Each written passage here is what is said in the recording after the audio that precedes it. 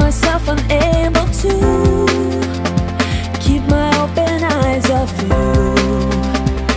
Even when I kept them closed, you got into my